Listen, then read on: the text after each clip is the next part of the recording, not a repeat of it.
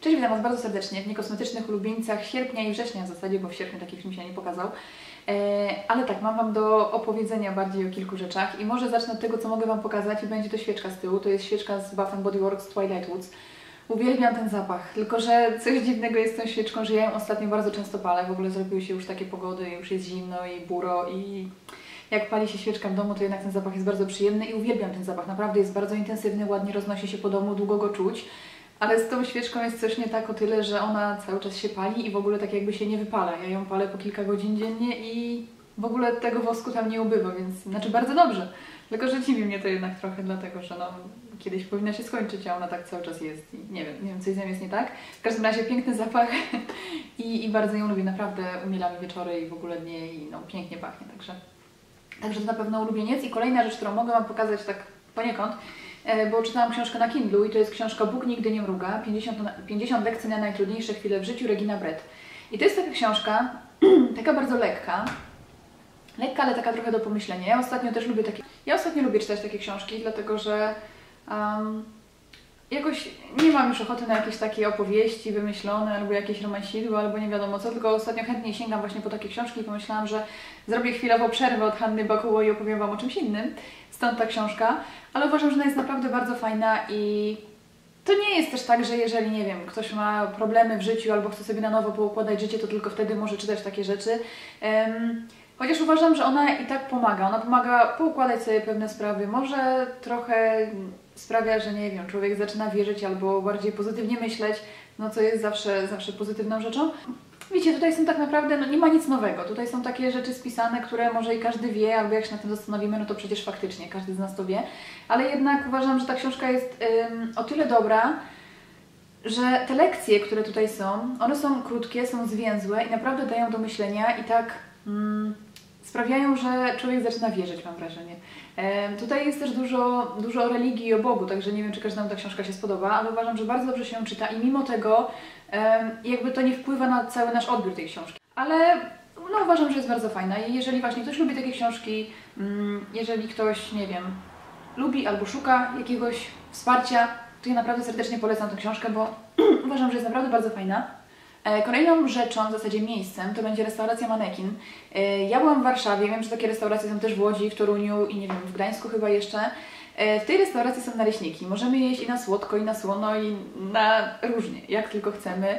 Tam są naprawdę bardzo różne jakby dodatki do środka, więc możemy spróbować naprawdę przeróżnych naleśników, ale są rewelacyjne. Kiedy ja tam poszłam pierwszy raz z koleżanką, to byłam głodna. Już pomijam fakt, że trzeba wystać pół godziny mniej więcej w kolejce, 15 minut, pół godziny, zależy, zależy jaka kolejka, ale to jeszcze nic, bo na naleśnika czeka się około godziny 20, także...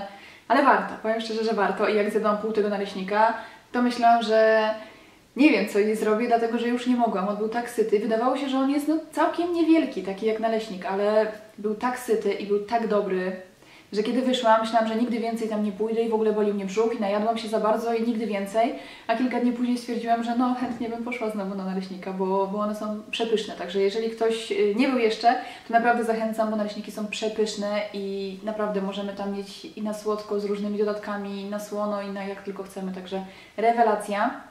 Kolejne miejsce, które takie, taką ciekawostkę Wam powiem, jest taki sklep z goframi na Powiślu. Fajne miejsce, dlatego że te gofry to nie są takie zwykłe gofry z bitą śmietaną, takiego tam raczej chyba nie ma nawet. Ale są tam gofry razowe, gofry kukurydziane z różnymi dodatkami, są z serami, e, nie wiem, z gorgonzolą, z gruszkami, z rukolą, e, no przeróżne naprawdę. I one są właśnie też trochę na słodko, jest trochę na słono, także bardzo fajne miejsce i to taka ciekawostka, jadłam placka mm, gofra z ziemniaczanego, więc on trochę smakował nawet jak placek ziemniaczany, więc byłam w szoku, że to gofra jednak placek ziemniaczany. Także bardzo fajne miejsce, ja Wam bardzo polecam, jeżeli chcecie spróbować coś nowego, to, to bardzo fajne miejsce. Um, kolejnym miejscem to może będzie Och Teatr mogę Wam polecić sztukę um, Miłość Blondynki. Co prawda, nie wiem, czy wszystkim się spodoba. W ogóle, e, tak, nie wiem, czy mówiłam, to była sztuka w Och Teatrze w Warszawie i byłam bardzo zaskoczona, dlatego że tam scena jest jakby po środku i po obydwu stronach sceny jest widownia, także no coś zupełnie innego. Nie jestem do tego przyzwyczajona, żeby właśnie, a nie wiem, aktorzy byli aż tak blisko i po drugiej stronie mamy jeszcze widownię, także bardzo fajny pomysł. Jeżeli chodzi o samą sztukę, no to to jest niby komedia. Nie tam się uśmiałam, ona jest bardzo zabawna, bardzo Bardzo fajna, chociaż uważam, że cała historia Cała historia jest o tym w zasadzie, jakie to kobiety są naiwne, a mężczyźni zrobią wszystko, żeby zaciągnąć dziewczynę do łóżka. Także każdy w sumie o tym wie, prawda? To nie jest nic nowego. Trochę się uśmiałam, a jednak trochę pomyślałam potem, że no, to takie smutne trochę jednak jest. No ale, ale sztuka bardzo fajna. Jak wiecie, ja lubię chodzić do teatru, także mi się praktycznie, nie wiem, każda sztuka będzie podobała, dlatego że to teatr i uwielbiam, także no, podobało mi się.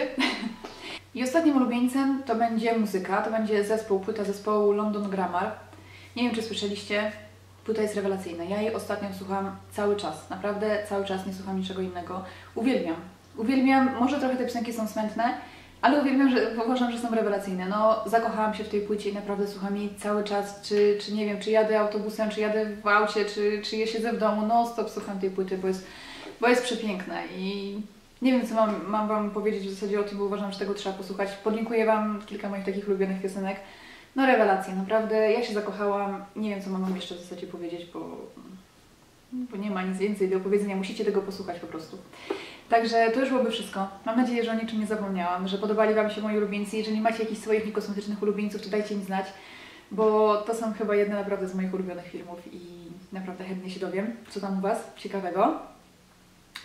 I tak, jeżeli, w zasadzie, jeżeli jesteście zainteresowani, nie wiem, gdzie bywam, albo na przykład jakie miejsca polecam, to zapraszam na swojego Instagrama, dlatego że tam pewnie częściej pojawiają się właśnie różne takie rzeczy, miejsca, jedzenie, nie wiem, cokolwiek. Także zapraszam Was serdecznie, jeżeli Wam się podobało, dajcie kciuka w górę i ja Was zapraszam do kolejnych filmów. Do zobaczenia, pa!